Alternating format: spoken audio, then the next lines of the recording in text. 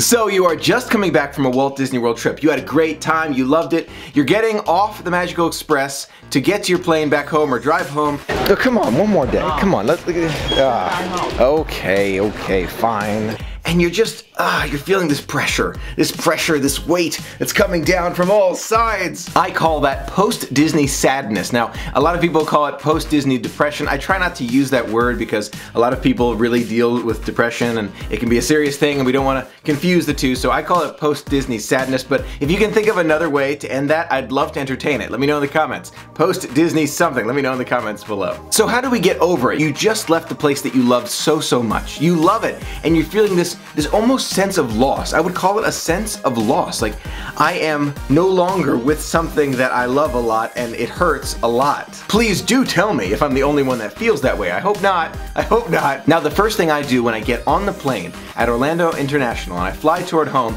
and I'm disconnected, I'm on airplane mode, I look at those pictures, I review them, I edit some, I, I just enjoy reliving the magic through the pictures. I also love to look at those PhotoPass pictures and videos. They're usually some of my favorites from my trip. After that, I'll get home, I'll make the vlog and I'm able to relive it again, but then I'll start thinking about my next trip right away. Right away I'll start thinking about my next trip, maybe even on that plane flight. I'll be thinking, okay, what am I gonna do next? What's, what's next on the agenda? What do I want to see and do and experience again in terms of Disney vacation? Now I do prioritize Disney in my life, so I'm able to go at least four times a year. I hope to go more in the future, but I put a video right there talking all about the budgets about going back to Disney sooner. Now planning your next trip is by far the best way to get over that post-Disney sadness and to start thinking and planning for that next Disney trip and get those waves of Disney coming back on you. Now I understand Disney is a budget item and not every family can make it every year or even every other year to go to Walt Disney World. So what do you do in that in-between time to keep the magic going? Now for those who are able to get to a Disney store, I highly recommend it. Being surrounded by the magic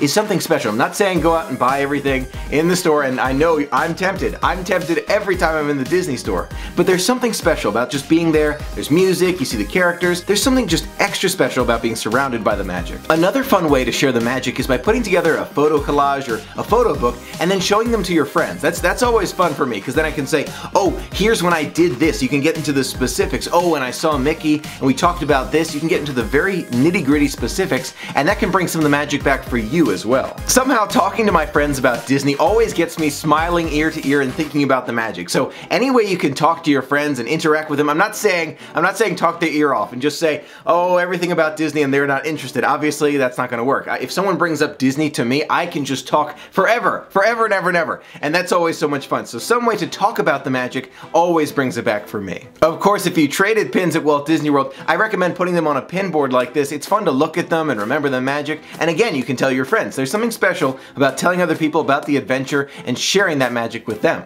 Another tip is to put a Disney background on your phone so you can remember a little piece of the magic every single day. Now, if it's been a really long time for me, sometimes I'll go on the Disney Shop Parks app where I can get authentic park merchandise from my phone. So I can just order it right from there and it'll arrive in a few days. It's just extra magical. You get a little extra shirt or a hat or a tumbler and it's just a little piece of magic as if you were in the parks. Overall, you want to stay positive, think of the magical memories you had and magical memories that you are sure to create in the future. Now you know some of my best tips, but I really want to hear yours. Are there some I'm not thinking of? I'm sure you've got some great ideas of how to bring the magic back home with you. Once you've gotten back and you're, you know, getting that Disney sadness a little bit, how do you bring it back? How do you feel that magic again? Let me know in the comments. I would love to hear from you. Thank you so much for being a part of the magic with me. Until next time, have a magical day.